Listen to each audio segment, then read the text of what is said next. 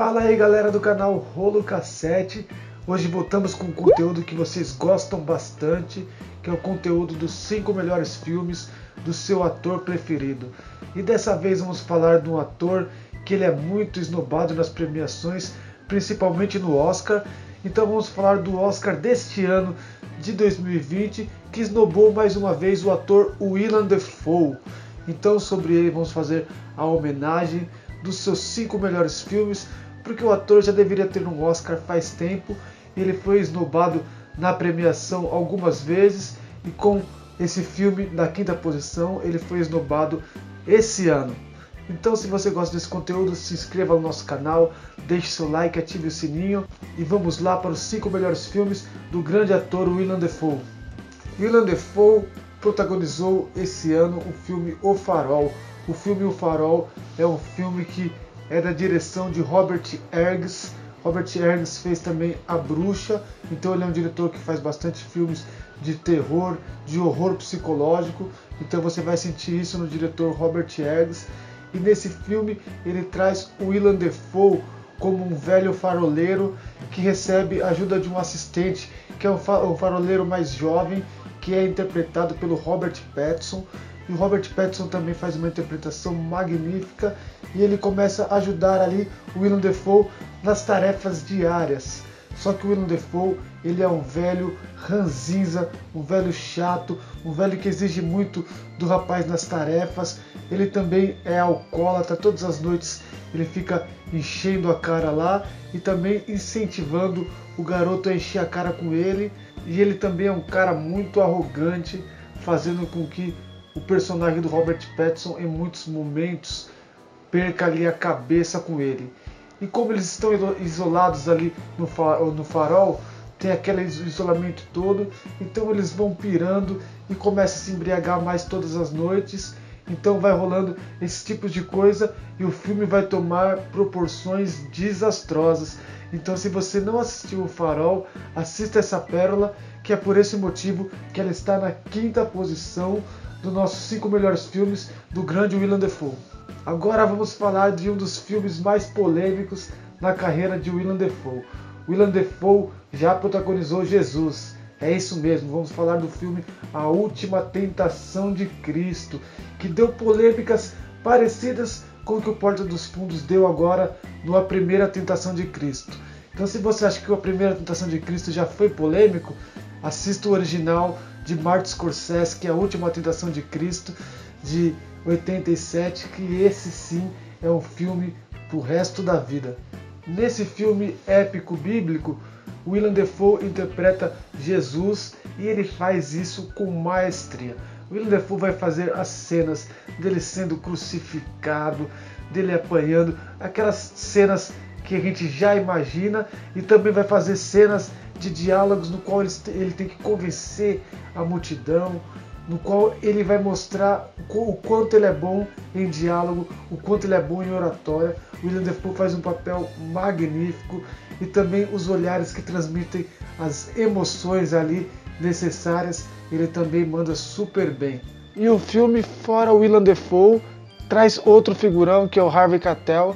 Ele está muito bem também nesse filme. Ele é o Judas nesse filme. Então ele está o tempo inteiro ali do lado do personagem do Willem Defoe, para ajudá-lo ali a disseminar ali o seu evangelho. E o Martin Scorsese ele fez a direção desse filme e na época sofreu muitas polêmicas, inclusive ele sofreu ameaças de morte por ter feito esse filme, porque esse filme mostra um Jesus mais humanizado, um Jesus um pouco diferente, um Jesus com medo de ser crucificado, um Jesus que não sabe exatamente se ele é o Messias, se ele é o enviado de Deus.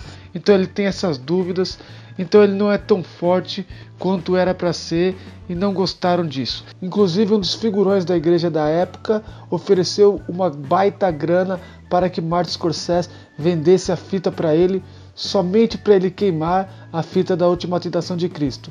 Mas é claro que Martin Scorsese não fez isso, porque o Martin Scorsese ficou muito tempo no processo para tentar lançar esse, esse filme.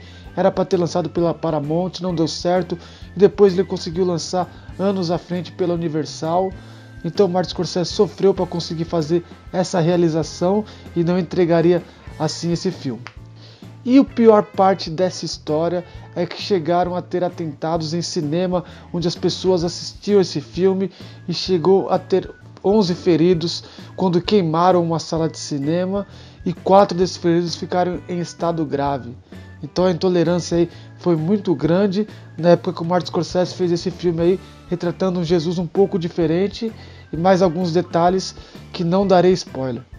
Se vocês acharam A Última Tentação de Cristo uma história polêmica, agora William Defoe se junta com um dos cineastas mais polêmicos da história de Hollywood.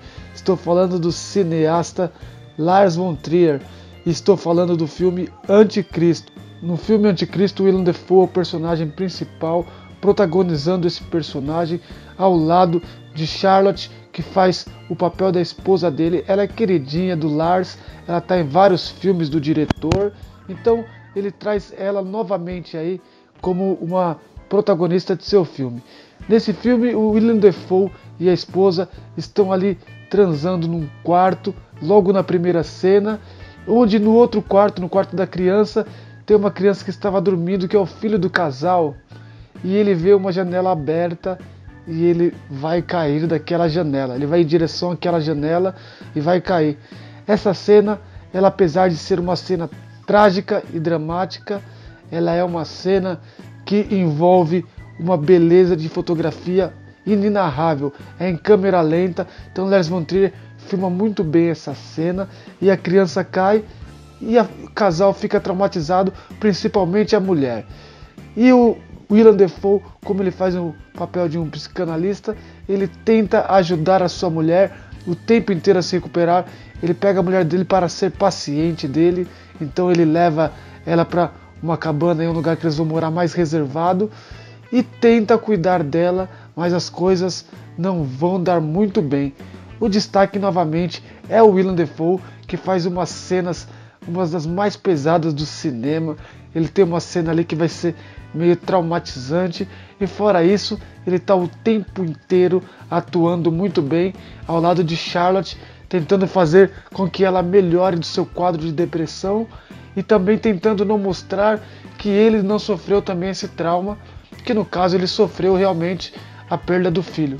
Willem Dafoe ele fez vários papéis no cinema vários deles são pesados. E os que são pesados, os dramas mais pesados, são os que mais envolvem e os que mais te marcam. Então, se você está achando essa lista muito pesada, com filmes muito pesados, e ela tem mais um filme pesado na lista, vamos falar de Mississippi em Chamas. E se você acompanha esse canal, você já viu que fizemos um vídeo dos três melhores filmes sobre a Ku Klux Klan, vai subir aqui nos cards. E nesse vídeo a gente fala também do Mississippi em Chamas. Então, quer saber um pouco mais antes de assistir? Vai lá e dá um clique nesse vídeo. Mississippi em Chamas, além do William Defoe, temos Gene Hackman, que é um excelente ator e foi premiado por esse filme. O filme traz a direção do Alan Parker e eles fazem um filme maravilhoso, um filme que conta a história de dois policiais que vieram do FBI para uma cidade que é Mississippi para tentar ver o que está acontecendo com vários crimes de intolerância da Ku Klux Klan em alta, inclusive três rapazes que morreram, principalmente o rapaz que era negro que morreu por crime de intolerância e os outros que acompanhavam também morreram juntos, amigos dele. Então, eles por serem de fora da cidade vão ter mais caguete para conseguir ali investigar o crime, até porque muitas pessoas que é de Mississippi xerife, delegado e tudo mais são envolvidos com a própria Ku Klux Klan. Então, teria que ser pessoas de fora realmente para fazer essas investigações. E o William Defoe está sensacional novamente em mais um filme muito interessante, um dos melhores filmes aí da época. O William Defoe, ele filmou bons filmes em sequência, né? Ele filmou, eu falei da Última Tentação de Cristo, mas foi bem próximo à Última Tentação de, de Cristo, Mississippi em Chamas e mais um que vou falar daqui a pouco. E essa, esses filmes que o William Defoe fez em sequência, que levantaram a carreira dele, fez com que ele tomasse um outro patamar no cinema. Já deveria ter sido premiado nessa época, mas ele ficou cotado para vários e vários filmes. Eu acho que essa foi a melhor fase do Willem Dafoe, final dos anos 80 para ele foi maravilhoso. E por isso, na primeira posição, vamos falar de mais um filme que faz parte dessa sequência. Vamos falar do épico de guerra Platoon, do diretor Oliver Stone. Ele mostra que em todos os ataques de guerra, quando as pessoas dominam as cidades, elas começam a fazer certos tipos de maldade. O cara que é soldado que está vários anos ali na guerra, na abstinência e tudo mais, ele acaba fazendo atrocidades, como chegar em um vilarejo e matar pessoas que não são soldados inimigos, eles são apenas cidadãos. E aí eles conseguem matar essas pessoas e também querer estuprar algumas garotas que ali moram naquele vilarejo. Então eles fazem algumas maldades, eles matam algumas pessoas e também estupram garotos que moram naquele vilarejo. E o William Defoe é o cara gente boa que tenta impedir um dos comandantes de fazer essas atrocidades. Então eles vão ter um monte de embates, eles vão brigar muitas vezes junto e o William Defoe vai estar dentro de algumas festas, de um ambiente mais legal do que o outro comandante. Então um você vai taxar como aquele comandante que é o filho da mãe ali e o outro o comandante gente boa, que é o comandante do William Defoe, gente finíssima, e ele fica nas festas ali bebendo, fumando maconha com os amigos, se divertindo numa nice e também ajudando quando vai ser cometido injustiças contra cidadãos que mesmo da cidade dominada e invadida, eles têm seus direitos. Isso traz o personagem do William Defoe, um dos mais queridinhos ali da época. No Platoon, William Defoe faz uma atuação muito boa. Ele chegou a ser indicado, mas não venceu o Oscar. E o Platoon mostra assim a melhor fase dele, que ele faz uma das cenas mais icônicas também do cinema. Então, se você assistiu Platoon, você vai gostar muito da cena final. Veja essa última cena final do Platoon, que você não vai se arrepender. E o Platoon tem isso como a melhor cena do seu filme e uma das melhores cenas da história do cinema. William Defoe ele é um ator que a gente gosta muito, apesar dele ser injustiçado no Oscar, aqui ele vai ser lembrado muito bem por essas cinco pérolas. Vale a pena você assistir uma por uma dessas pérolas. E se você tiver a dúvida de como assistir, chega nos comentários e pergunta nos comentários que a gente vai deixar links e vai dizer onde está disponível cada um dos cinco filmes ou até outros filmes de William Defoe. Se você gostou desse vídeo, se inscreva no nosso canal, deixe seu like, ative o sininho e até o próximo vídeo.